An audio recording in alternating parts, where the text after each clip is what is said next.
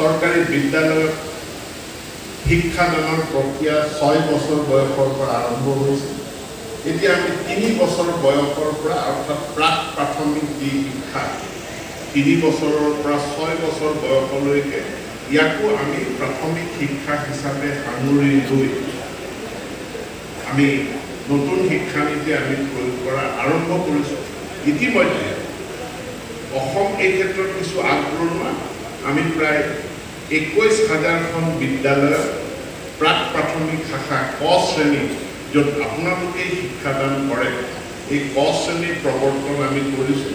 আৰু ক শ্ৰেণীত সাংঘাতিক ধৰণে নামভৰ্তি চৰকাৰী বিদ্যালয়সমূহত নামভৰ্তিৰ সংখ্যা বৃদ্ধি পাইছে। ই এটা পজিটিভ এটা যোগাত্মক সূচাংক যে ক শ্ৰেণীত ছাত্ৰ ছাত্ৰীৰ সংখ্যা বৃদ্ধিয়ে চৰকাৰী বিদ্যালয়ৰ প্ৰতি ছাত্ৰ ছাত্ৰীসকলৰ যি আকৰ্ষণ অভিভাৱকসকলৰ যি আস্থা সেই আস্থাটো প্ৰমাণটো প্ৰমাণ কৰিছে। আৰু ইয়াত নিশ্চিতভাৱে আপোনাৰ যি প্ৰাথমিক শিক্ষকসকল আছে আপোনালোকৰ আশা সুধীয়া প্ৰচেষ্টাৰ কাৰণে প্ৰাথমিক খণ্ডত ছাত্ৰ ছাত্ৰীৰ নামভৰ্তি বৃদ্ধি পাইছে। মই শিক্ষামন্ত্ৰী হিচাপে তাৰ কাৰণে আপোনালোকক ধন্যবাদ জনাইছোঁ। মই অভিনন্দন জনাইছোঁ। এয়া আপোনালোকৰ প্ৰাপ্তি। শিক্ষা বিভাগ বৃহৎ শিক্ষানুষ্ঠানৰ সংখ্যা এটা বৃহৎ শিক্ষানুষ্ঠান।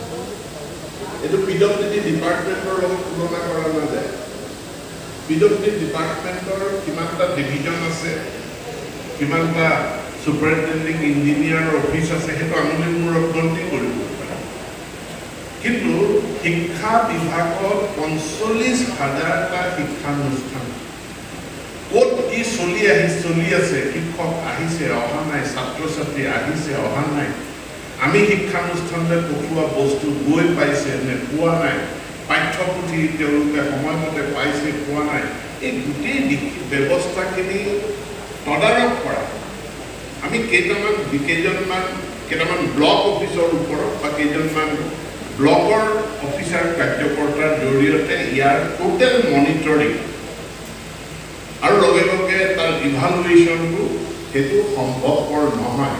ফিজিকেলি ইমান বিশাল ব্যৱস্থা এটা মনিটৰ কৰাটো সম্ভৱপৰ নহয়। আৰু ইয়াৰ কাৰণে আমাক টেকন'লজি প্ৰযুক্তিৰ সহায়।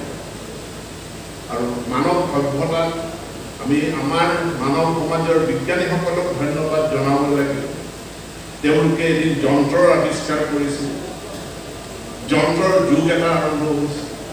তেওঁলোকে এদিন কম্পিউটাৰ আৱিষ্কাৰ কৰিছিল। এটা ইনফৰ্মেশ্যন টেকনলজিৰ যুগ এটা আৰম্ভ হৈছিল আৰু তাৰ পাছত তেওঁলোকে আৰ্টিফিচিয়েল ইণ্টেলিজেঞ্চ মেচিন লাৰ্ণিং আদিৰ দৰে শেহতীয়া প্ৰযুক্তিৰ উদ্ভাৱন কৰিছে আৰু যাৰ সুফলবিলাক আজি আমি পাইছোঁ।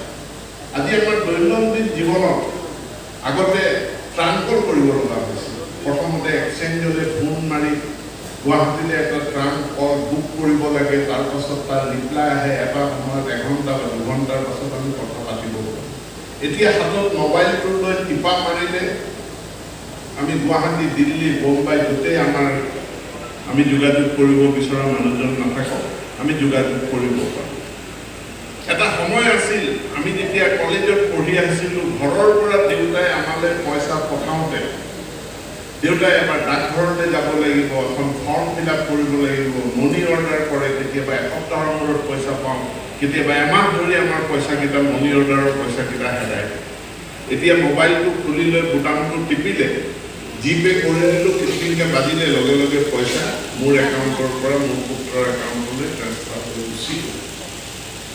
টেকনলজিয়ে গোটেই সভ্যতা মানুহৰ লাইফ ষ্টাইল যোগাযোগ মাধ্যম আৰু আমাৰ কাৰ্য নিৰ্বাহন ইয়াক এনেকুৱা দ্ৰুত পৰিৱৰ্তন কৰি দিলে যে আজি আপোনালোকৰ ৰাজ্যিক শিক্ষা সন্মিলনত ইয়াত কি হৈ আছে ধুবুৰীত কোনোবাই বহি লাইভ ষ্ট্ৰিমিং চাই আছে